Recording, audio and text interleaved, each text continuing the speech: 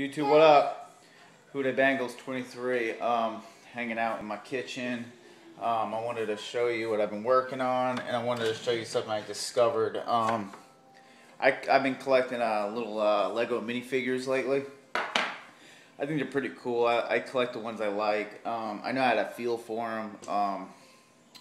So I usually buy one and then I open up the thing and then there's a pamphlet and it'll show all the characters and then I'll try to feel for like their instruments and stuff like that.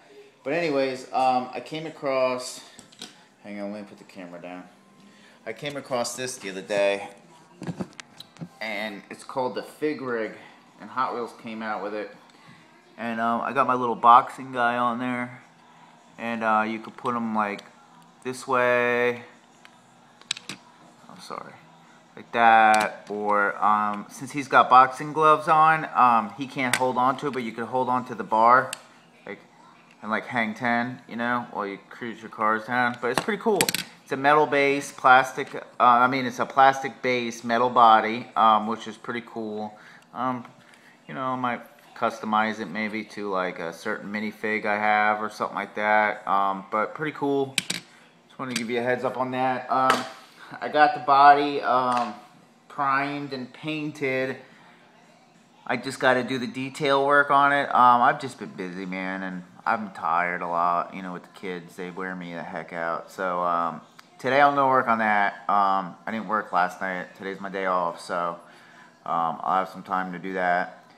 But uh, looks pretty cool. I mean, look at the back, real nice and smooth. There's another angle, another angle. But yeah, I'm gonna finish this today. And then um, I started, I started doing um, the Batmobile. Kind of a little disappointed. I didn't know this. Um, the body is plastic on the new Batmobile. That's in the 2013 line. Um, I think it's in the M case or yeah L case, L case. I don't know, but uh, I got that primed, so I'm gonna shoot it with uh some silver, and then, I don't know, I was either going to make a red Batmobile or I was going to do it in pink. But um, I'll be showing you guys that too shortly. Um, just giving you an update what's going on in Houday Land. Alright guys, thanks for watching, and um, deuces.